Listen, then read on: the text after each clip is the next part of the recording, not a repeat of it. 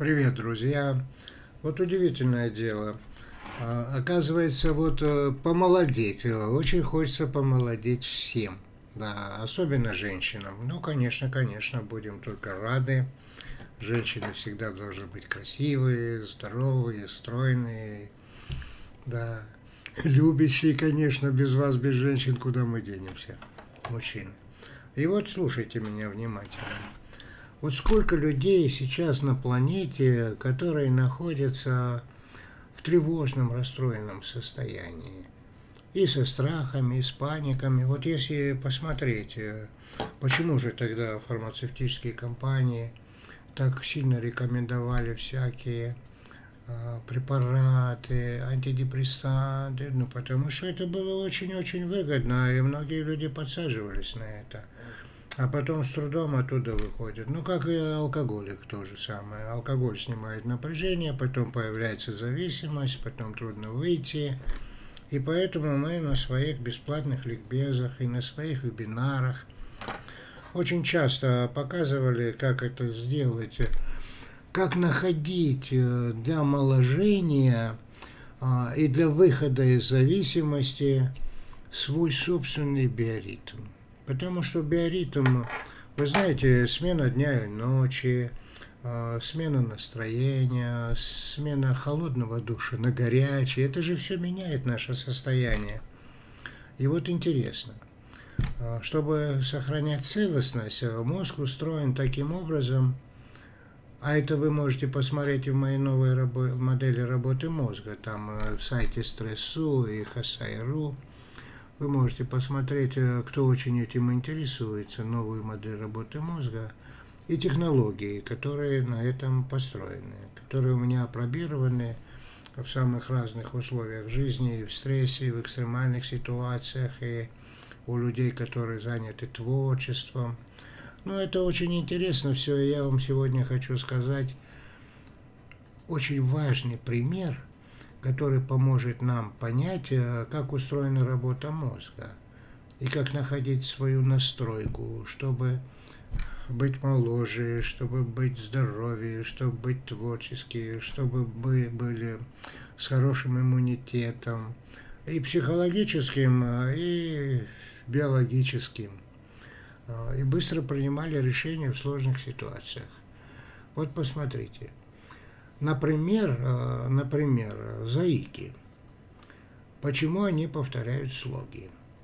Э, раньше была такая теория, я не знаю, насколько она сегодня сохранилась и насколько она развилась, э, но представлялась учеными так, что по двум половинам мозга идет речевой сигнал, и где-то он сразу не совмещается и это время а, задержки а, Заика компенсирует повторяемым слогом. То есть он повторяет действия а, в ожидании, так сказать, образно говоря, когда сигналы придут друг к другу. И поэтому возникает заикание. Вот это повторяемое действие, если на него посмотреть шире, которое помогает сохранять целостность, которая позволяет нам, ну, например, повторяемое действие снимает напряжение, об этом я во всех роликах и книгах говорил, и что повторяемое движение снимает напряжение, это уже стало народной песней, я это говорил много лет, я это рассказываю. Когда человек нервничает, думая о своем, волнуется, ходит туда-сюда по комнате, качает ногой, покачивается в кресле – стучит пальцами, а я говорил, отсюда пошли четкие, повторяемые молитвы и так далее. Вот у Заики, да, а, нарушена целостность, и он компенсирует, как я сказал, повторяемым слогом.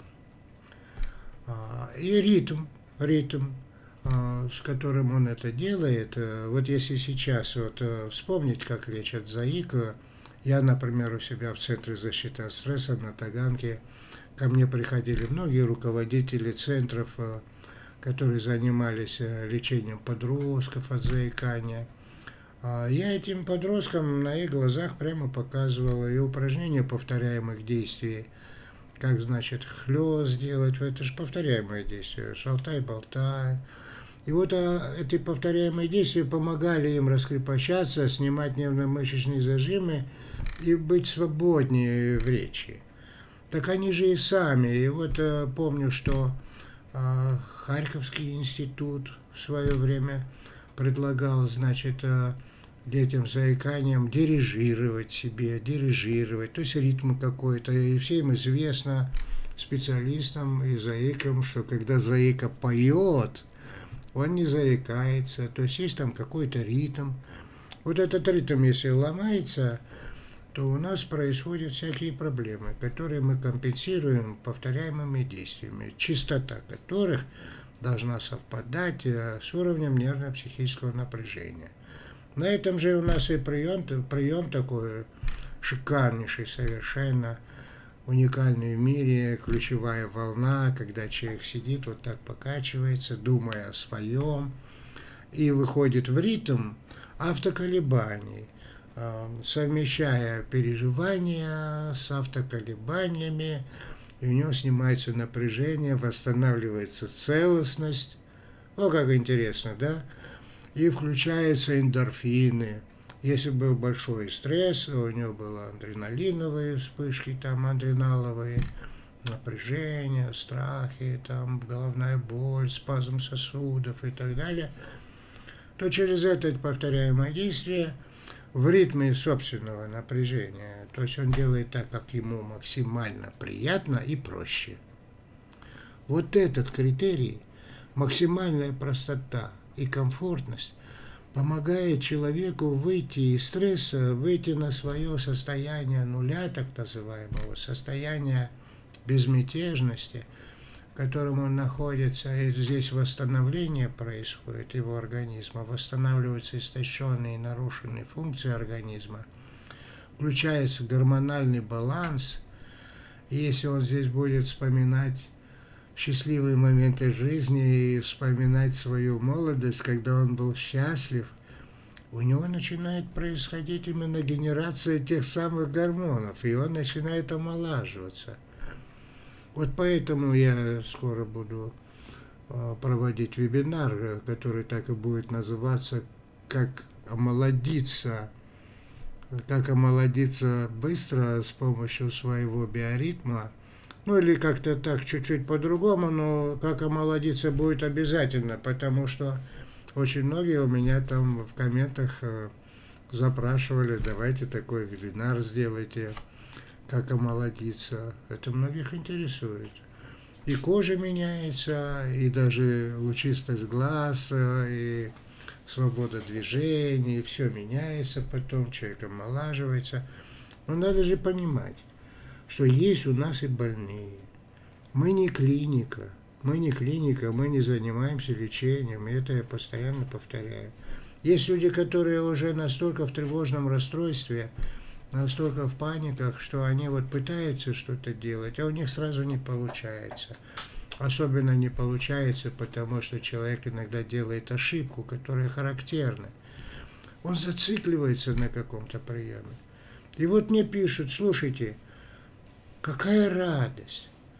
Я только сейчас поняла, вот так мне прямо написано, я только сейчас поняла, что я все время зацикливалась, э, разойдутся руки или нет.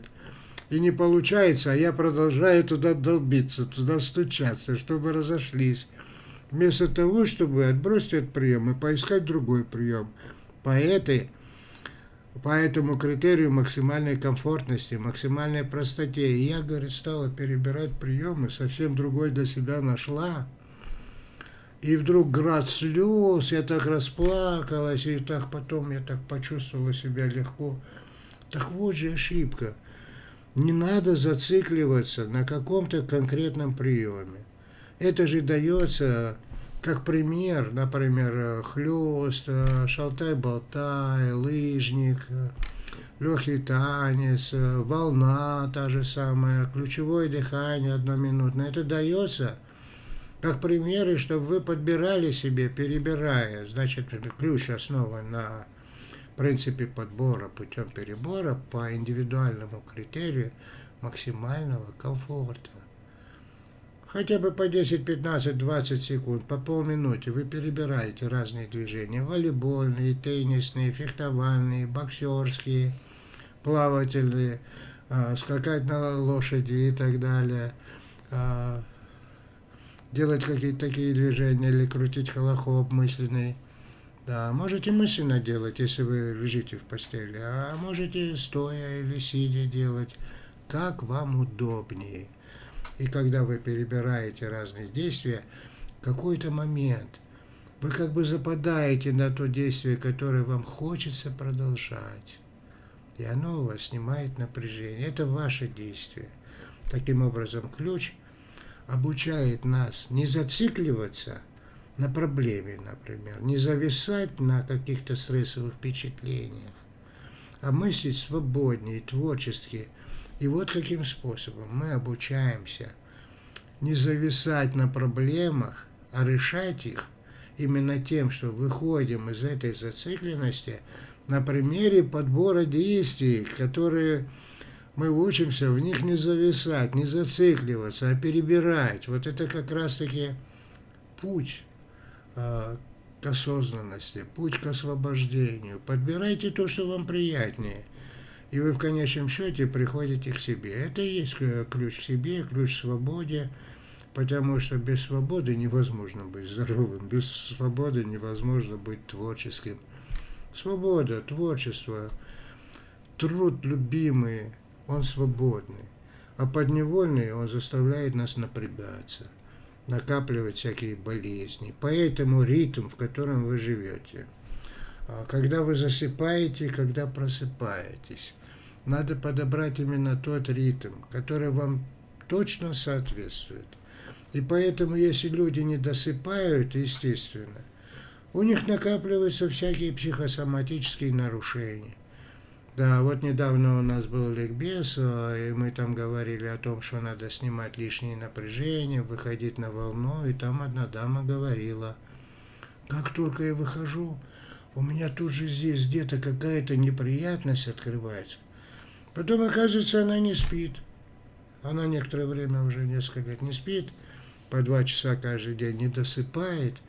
И вот так отразилось отразилось так, что у нее накопилось вот это. Как только она пытается раскрепоститься, у нее тоже открывается вот эта неприятность. Так причина это недосыпание, наверное. Поэтому я вам рекомендую подбирать свой ритм. Потому что у меня был вот э, давно-давно, когда я учился в Дагестане в медицинском институте, был знакомый он был и преподавателем, и врачом, и он занимался музыкотерапией. Музыкотерапия, то там же ритм. И поэтому, когда вы подбираете себе ритм танца, ритм музыки, перебираете действия по принципу ключа, это одно и то же. Потому что ключ – это модель, спрессованная модель компактная самой жизни – где вы действительно ищете, как делать дело, получая результат э, с меньшими усилиями. То есть, э, когда вы делаете действия, которые совпадают с вашими талантами. Потому что когда вы заняты любимым делом, когда открываются ваши способности, тогда вы счастливы. Потому что человек, когда у него открываются его способности, когда он может заниматься любимым делом, он и свое предназначение в жизни, свою миссию выполняет. Он и полезен становится для всех, потому что мы все в нем нуждаемся. И каждый имеет свои особенности, свои таланты. И когда мы производим что-то полезное, то в обществе людей мы делимся этой полезностью. Да, и этой самой полезностью мы все вместе себя поддерживаем. И чем больше у человека любимых дел, тем больше точек опоры. Да, занимайтесь любимым делом, ищите ритмы, да, и учитесь с помощью метода ключа на основе подбора путем перебора действий, не зацикливаться на каком-то приеме и не зацикливаться тем самым а, в жизни, на каких-то неприятностях, находить способы, как их решить. До встречи. Скоро у нас будет вебинар «Как помолодеть с помощью своего биоритма». До встречи, друзья.